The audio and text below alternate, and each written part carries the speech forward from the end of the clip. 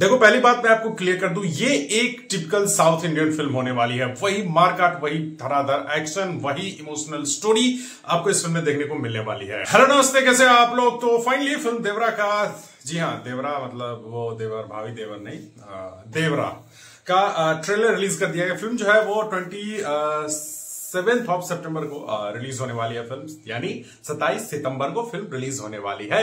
सिनेमाघरों में तो फ़िल्म में लीड रोल प्ले कर रहे हैं जूनियर एनटीआर सर और सैफ अली खान।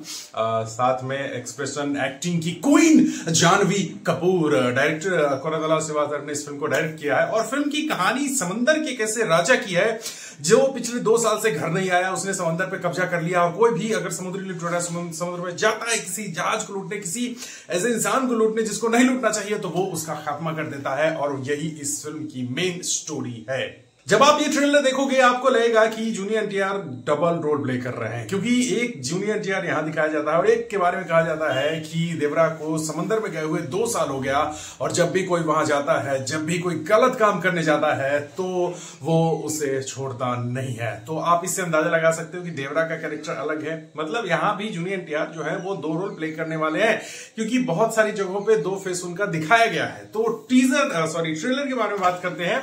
तो जैसा मैंने बताया आपको कि टिपिकल ये एक साउथ इंडियन फ़िल्म है। भर भर के एक्शन है हार्ड कोर एक्शन है इमोशन है। स्टोरी भी काफ़ी अच्छी लग रही है अभी तक फ़िलहाल। फ़िल्म कैसी होती है? एक्स, आ, ये आ, बात करूँ मैं एक्शन सीक्वेंस की तो आ, मुझे स्पेशली एक सीन बहुत ही कमाल का लगा जो वो डॉल्फिन पे वो निकलते समंदर के अंदर से और वो चाँद है वहाँ पे वो ओ भाई सब गजब का शॉट आई नो वीएफएक्स है लेकिन वो शॉट इतना प्यारा लग रहा है ना कि मतलब मज़ा आ रहा है जब आप वो देखोगे सीन लगेगा कि हाँ चलो ठीक है कुछ तो आ रहा है। तो आ, इंतज़ार करेंगे फ़िल्म तो देखेंगे फ़र्स्ट डे फ़र्स्ट शो ही देख, देखेंगे और ट्राई करेंगे कि रिव्यू वीडियो भी आए। तो आप लोगों ने इसका ट्रेलर देखा या नहीं देखा? और बात करूँ सैफ अली खान की तो वो काफ़ी अच्छे लग रहे हैं प्रॉमिसिंग लग रहे हैं। निगेटिव रोल में वो काफ़ी अच्छे लगते हैं और यहाँ पे भी वो निगेटिव रोल प्ले कर रहे हैं। तो देखते हैं फ़िल्म में किस तरीके से उनकी धुलाई होती है या किस तरीके से वो धुलाई करते हैं एनटीआर सर की। ये देखने काफ़ी इंटरेस्टिंग होगा। तो यही था इस वीडियो में। आई होप आपको वीडियो पसंद आया होगा। अगर वीडियो पसंद आया तो वीडियो को लाइक कर दे चैनल पर नया तो आप सब्सक्राइब फिर आपसे अगले वीडियो में जय हिंद।